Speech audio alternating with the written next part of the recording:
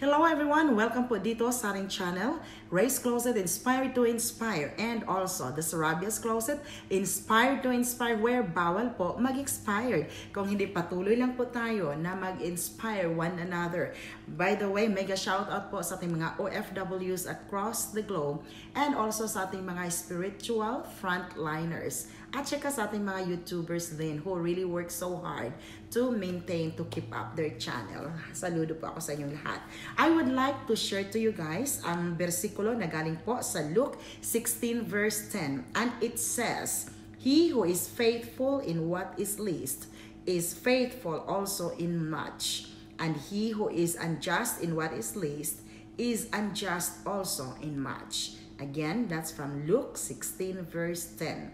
And for short of that, I learned something about that verse is when you are faithful, thankful for little things, even for a dime, and in the Philippines for a centavo, then God is ready to bless you with greater and bigger amount.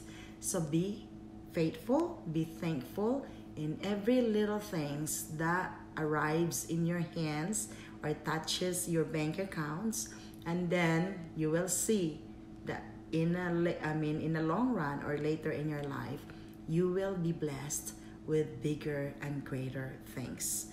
I would like to say Hello everyone, join me here as I'm going to sing a song that is a Visayan gospel.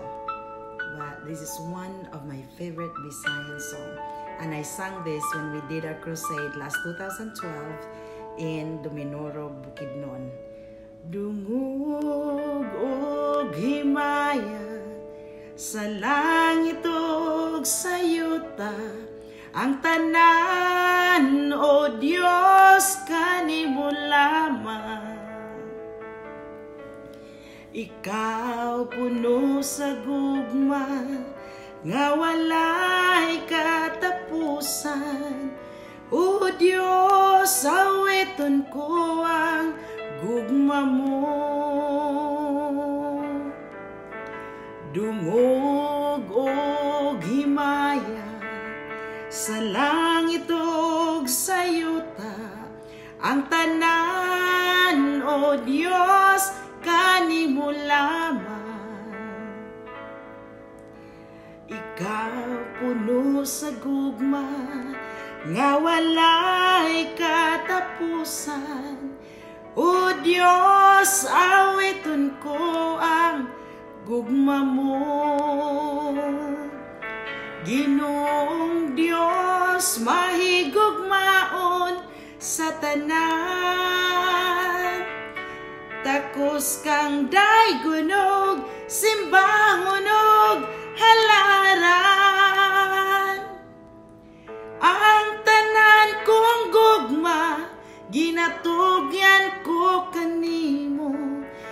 kinabuhi ko, O Dios Kanimo lamang. Dungog himaya Sa langit o sa yuta. Ang tanan, O Dios Kanimo lamang. Ikaw puno sa gugma Nga walay katapusan. O Diyos, awiton ko ang gugma mo. Ginoong Diyos, maigugmaon sa tanan. Takos kang daygunog, simbahunog,